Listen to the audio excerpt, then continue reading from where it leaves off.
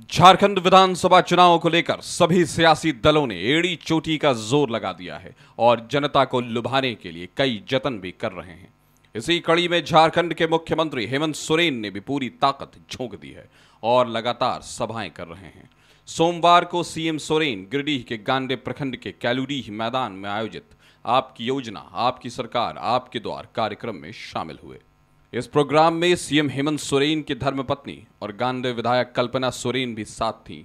लेकिन बड़ी बात यह है कि इन दो बड़ी शख्सियतों की मौजूदगी के बाद भी पिंक साड़ी में खड़ी एक खास महिला लाइमलाइट में रही और झारखंड वासियों का ध्यान अपनी तरफ़ खींचा।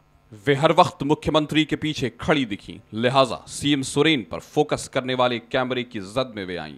और आकर्षण का केंद्र बन गई। कभी वो हेमंत सोरेन के पीछे दिखी तो कभी कल्पना सोरेन और मंत्री बेबी देवी के साथ दिखी।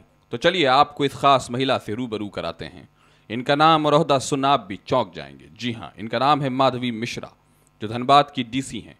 गिरिडीह के गांडे में आयोजित कार्यक्रम में इनकी मौजूदगी ने हर किसी का ध्यान अपनी तरफ़ खींचा, लिहाजा आज वे चर्चा के केंद्र में 2015 बैच की आईएएस अफसर माधवी मिश्रा धनबाद की डीसी हैं।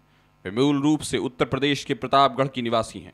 इनके पिता अनिल मिश्रा क्षेत्रीय ग्रामीण बैंक के मैनेजर पद से रिटायर हुए हैं।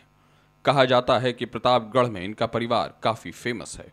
माधवी मिश्रा की फैमिली की प्रसिद्धि के पीछे भी एक बड़ी वजह है। दरअसल आईएएस माधवी मिश्रा कुल चार भाई बहन हैं, जिनमें से तीन आईएएस तो एक आईपीएस ऑफिसर है। चार भाई बहनों में सबसे बड़ी क्षमा मिश्रा हैं, जो आईपीएस अधिकारी हैं और फ़िलहाल कर्नाटक में एसपी हैं। उसके बाद योगेश मिश्रा का नंबर है, जो आईएएस अफसर हैं और फ़िलहाल उत्तर प्रदेश के शाहजहांपुर में ही पोस्टेड हैं। उसके बाद माधवी मिश्रा का नंबर है, सबसे छोटे हैं लोकेश मिश्रा, जो झारखंड में ही आईएएस अधिकारी हैं। फ़िलहाल दोनों भाई बहन झारखंड में अपने काम की बदौलत काफ़ी सुर्खियाँ बटोरते रहते हैं। माधवी मिश्रा की फैमिली के लिए साल 2015 काफ़ी यादगार रहा। जब घर में एक साथ दो दो खुशियाँ आई, दरअसल यही वो साल है जब बड़ी बहन क्षमा मिश्रा ने यूपीएससी पास की और आईपीएस अधिकारी बनी, साथ ही माधवी मिश्रा ने भी यूपीएससी क्लियर किया और आईएएस अधिकारी बनी। फ़िलहाल त्याग, तपस्या और समर्पण की प्रतिमूर्ति माधवी मिश्रा की पहचान एक सख्त अधिकारी के तौर पर है। वे अपनी डेडिकेशन और काम की वजह से काफ़ी चर्चा में रहती हैं।